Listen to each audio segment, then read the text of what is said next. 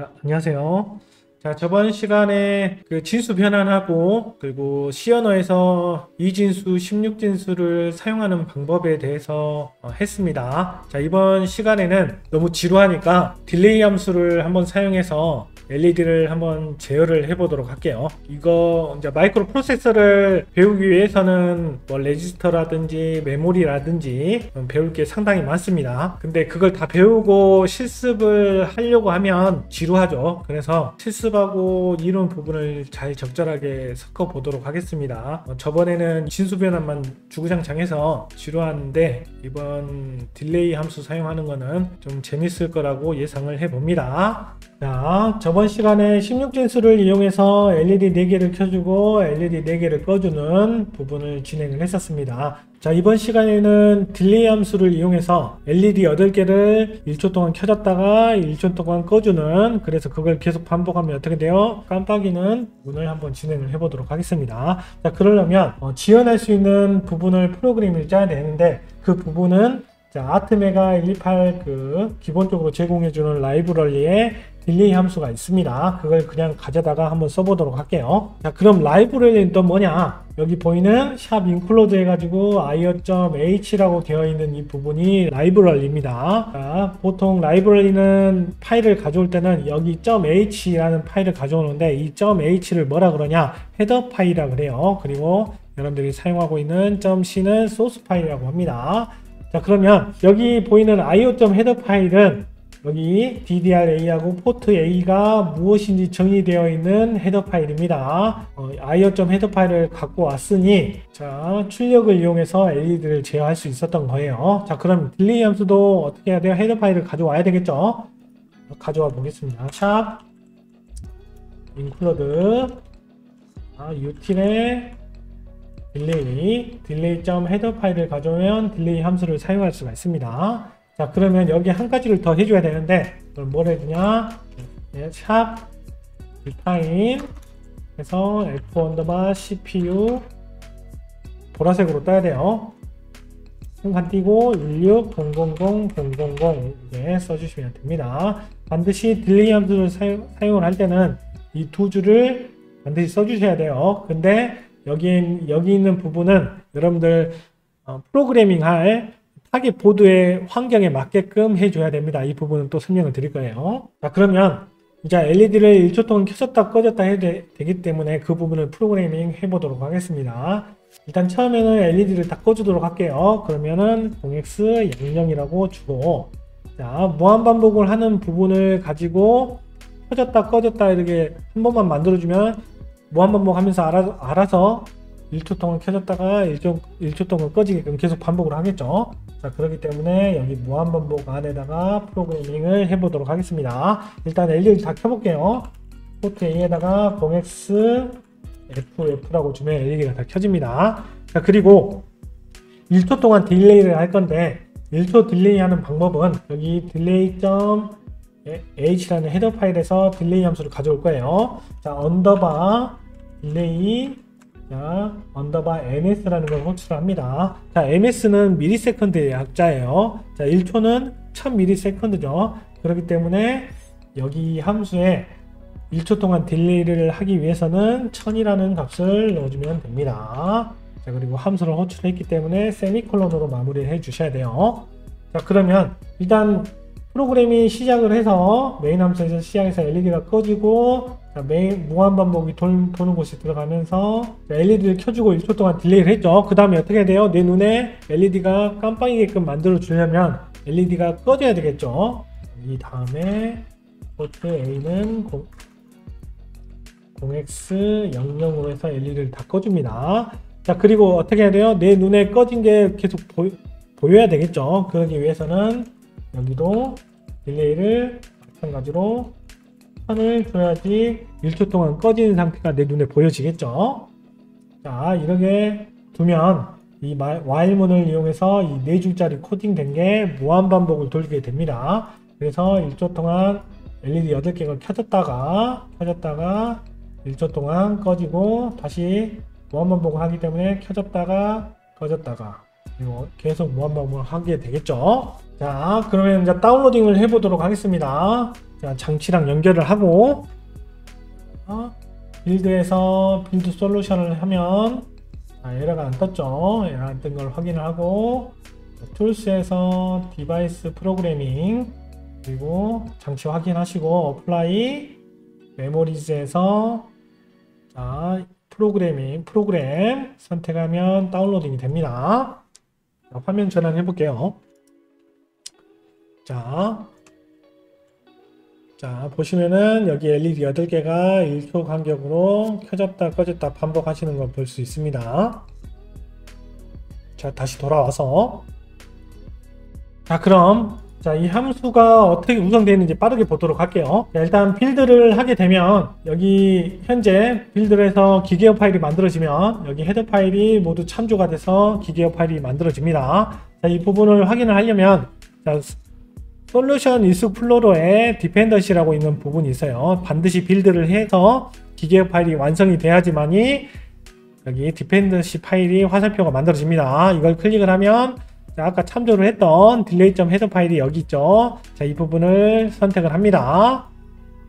더블 클릭을 하면 자, 이 파일이 뜨는데 쭉 내리면 아까 여러분들 했던 delay delay underbar ms라는 함수가 여기 있죠. 이 함수가 실행이 되면서 동작을 하는데 여기서 제일 중요한 부분은 자 소스가 어렵죠. 이건 신경 쓰, 지 말고 여기 있는 부분만 확인을 하시면 됩니다. f underbar cpu 아까 여러분들 디파인에서 f 언더바 cpu가 CPU라는 걸 타이핑을 했었죠. 자, 이 부분만 기억을 하시고 넘어갈, 넘어가도록 하겠습니다.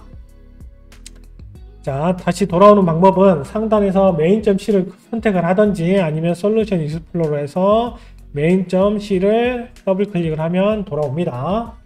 자, 자 뭔지 모르겠지만 delay underbar delay underbar ms라는 이 함수를 사용하기 위해서는 얘를 이용해서 프로그램이 동작을 하는 것을 확인할 수 있었습니다. 자, 그걸 강조를 하기 위해서 말씀을 드린 거예요 이걸 먼저 알아보기 앞서서 define은 정의하다는 뜻입니다. 자, 그 말은 뭔 말이냐? F underbar CPU라는 문자를 1600만이라는 숫자로 대체해서 사용을 하겠다는 뜻입니다. 자, 그러면 F underbar CPU가 뭔지를 한번 알아보도록 하겠습니다.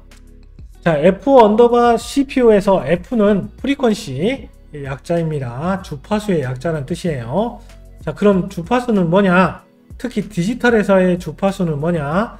자, 일정한 어떤 신호가 계속 반복이 되는 거를 주파수라고 하는데 디지털에서의 주파수는 자, 디지털은 0과 1을 0과 1이라는 신호가 나오기 때문에 0과 1로 되어 있는 신호를 한 주기로 봤을 때 그 한 주기가 여러 번 반복되는 것을 어, 디지털에서의 주파수라고 보시면 됩니다. 마이크로 프로세서에서 자 F underbar CPU를 이렇게 정해 준 이유는 이 F underbar CPU가 시스템 클럭을 의미를 합니다. 시스템 클럭은 또 뭐냐? 사람이 심장이 뛰면서 동작을 하듯이 마이크로 프로세서도 일정 간격으로 1010이라는 신호가 들어온 거에 따라서 동작을 합니다. 주파수를 표현하는 단위가 헬즈라고 있죠. 디지털에서 1헬즈는 1과 0으로 되어 있는 이 한 주기가 1초에 한 번 동작, 한 번 발생하는 것을 1헬즈라고 합니다. 자, 그러면 2헬즈는 0과 1로 되어 있는 신호를 한 주기라고 봤을 때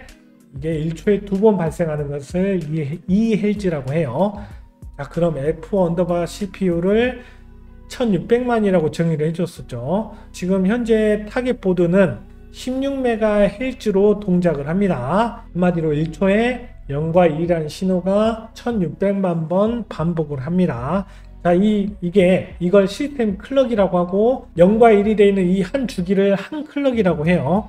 자, 그러면 한 클럭당 마이크로 프로세서는 동작을 한 번씩 합니다. 그 동작이 플러스 연산이 됐든, 마이너스 연산이 됐든, 이렇게 연산 처리를 하는데, 꼭 한 클럭당 동작을 한 번에 한 번에 다 하진 않아요. 메모리에 저장하는 거는 뭐 두 클럭을 사용한다든지, 자 for문을 한 번 반복을 하기 위해서는 4클럭이 필요한다든지 이렇게 동작 하나에 따라 필요한 클럭 수가 다 있긴 하지만 어찌됐든 마이크로 프로세서가 동작을 하기 위해서는 이 클럭이란 게 항상 발생을 해줘야 됩니다. 자 그러면 이 클럭이 빠르면 빠를수록 어떻게 어떻게 되죠?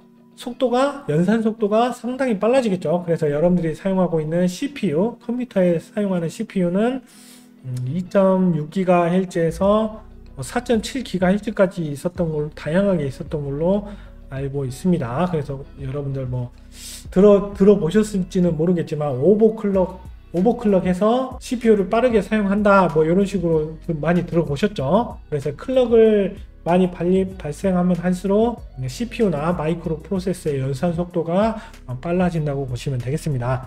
자 그러면 아트메가 128은 10메가에서 20MHz까지 시스템 클럭을 사용할 수가 있는데 현재 여러분들이 사용하고 있는 이 타겟 보드는 16MHz로 동작을 합니다. 자, 이 부분을 어디서 볼 수 있냐면 이 보드에 이 가운데 있는 칩이 ATmega 128이죠. 그 오른쪽에 보시면은 은색으로 되어 있는 IC 두 개가 있습니다. 거기서 상단에 있는 IC가 IC가 SC16.000이라고 되어 있어요. 그래서 이, 이 얘를 뭐라 그러냐? 크리스탈이라고 합니다. 진동자라고도 하고 크리스탈이라고 해요. 자, 이 크리스탈을 이용해서 16MHz가 마이크로 프로세서로 인가가 돼서 동작을 하는 원리입니다. PCB 보드를 설계하는 사람에 따라서 시스템 클럭이 달라질 수도 있겠죠. 그거에 따라서 프로그래밍을 달리 해줘야 됩니다. 자, 그러면 이 F CPU라는 시스템 클럭이 왜 프로그램에 16MHz를 명시를 해줘야 되냐? 여러분들 생각을 해보세요. 1초 동안 내가 정확하게 아무것도 안 하고 delay를 해주려면 마이크로 프로세스에서는 시간을 제어하려면 어떻게 해야 되죠? 시스템 클럭을 조절을 해줘야 되겠죠. 왜 그러냐면 시간 시간에 관련되어 있는 게 주파수 1초에 몇 번 뛰는 이 주파수이기 때문에 마이크로 프로세서는 시간에 대해서 제, 정확하게 제어를 하기 위해서는 내가 몇 헤르츠로 동작을 하는지 알고만 있으면 1초를 delay 하는 거는 16MHz면은 16MHz 동안에 아무것도 안 하고 가만히 있으면은 1초 동안 delay 된 거랑 똑같은 결과를 볼 수가 있겠죠. 자, 이런 식으로 delay 함수를 정확하게 동작을 하기 위해서는 여기 F underbar CPU로 해서 값을 명시를 해줘야 됩니다. 마이크로 프로세서 PCB를 설계하는 사람마다 시스템 클럭을 회로로 만들어줄 수 있기 때문에 프로그램의 입장에서는 정확하게 어떤 메가헤르츠가 시스템 클럭인지 알 수가 없죠. 그렇기 때문에 C언어에서 F underbar CPU라는 값을 정의해 줌으로써 정확하게 delay 함수를 사용할 수가 있게 됐, 됩니다. 자, 여기까지가 오늘 여러분들 delay 함수를 사용하는 컨텐츠인데, 자, 그냥 끝내기는 아쉬우니까 여러분들 한번 이걸 코딩을 한번 여러분들이 한번 짜보도록 해보세요. 자, LED가 하나씩 이렇게 켜지는 형태로 1초 간격으로 이렇게 켜지는 방식으로 한번 여러분들 머리를 써서 코딩을 해보시기 바랍니다. 자, 이 부분에 대한 결과는 다음 시간에 여러분들한테 한번 소스를 보여드리도록 할게요. 자, 여기까지 마치도록 하겠습니다.